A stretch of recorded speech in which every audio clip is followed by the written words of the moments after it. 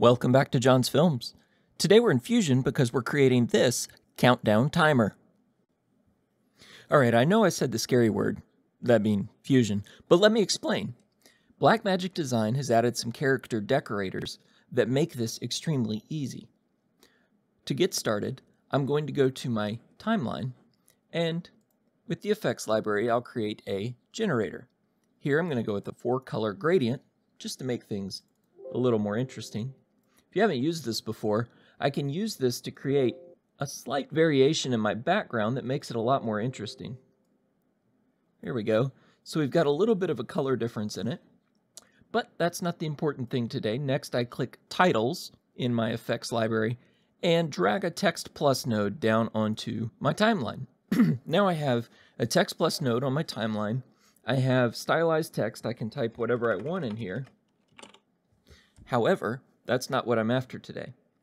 So I right click inside my stylized text field and come down to text timer. Now this inserts a default timer, which is a countdown timer from one minute. But I'd like to change the parameters associated with that. And this is where you find out that it's not as easy as you might think, even if you read the manual. The problem is, if I'd like to edit that key, there's no fantastic way to do so. I can go into Fusion, of course, and when I do that, hmm, it doesn't give me the options that I'm expecting to see to be able to modify this text. So to fix that, what I'll do is go back and delete my text node. I don't need that anyway. I do like my gradient, and of course I'll turn that into a compound clip, into a fusion clip, and now I'm going to go into Fusion directly. Again, this is not going to be that scary, I promise. If you haven't been in Fusion before, on the left I have whatever footage has come in. So I've put it on my number one viewer by pressing 1 while it's highlighted. I could do that as well by dragging it up there. And on the right is what comes out.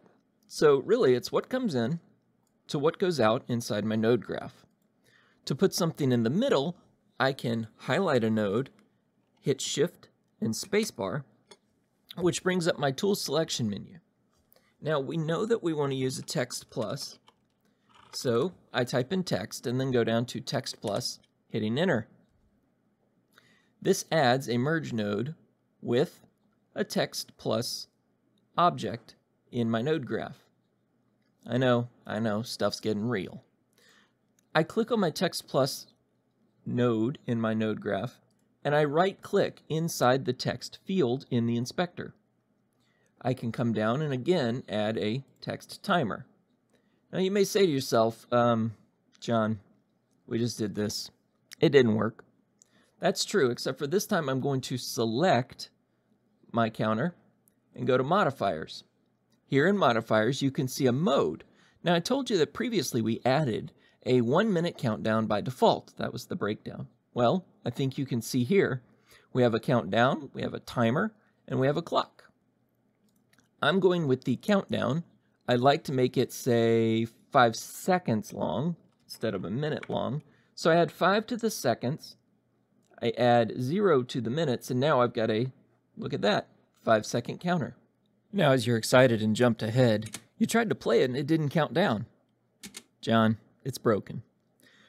Not exactly.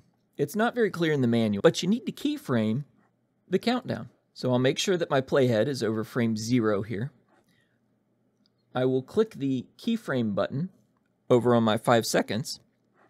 And now I'm going to grab my playhead and move it all the way down the timeline to frame 149. Here I will change my number of seconds down to 0. And it has now created a keyframe between 5 and 0. That provides the countdown. So this is how you would set the duration of your countdown as well as the rate. This way you could count down faster than just by seconds. I happen to have chosen 150 frames, which divided by 30, 5 seconds. So that's why I chose 5 seconds, but you could count down faster if you wanted to.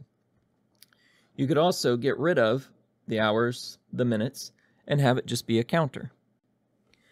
Now, before you try this at home, there's a spot that you will mess up. And that spot is when you are in Fusion. You add your Text Plus node, everything's going great, John. You right click onto your stylized text, and because it's not here yet, it works great. You add a text timer. You then attempt to click on your modifiers, and it doesn't show. The reason it's not going to show is you need to highlight the text that exists here first. I don't know why. It's been fickle for me, but this would be a snag that you might hit. So let me know what you do with your text timers. I'm excited to see how other people use this. There are a lot of different options inside the stylized text that you can create, and I will review some of those in future videos. But thank you for watching. Subscribe if you aren't subscribed yet, and do me a favor, hit that like button if you like this one. Thanks a lot. Have a great day.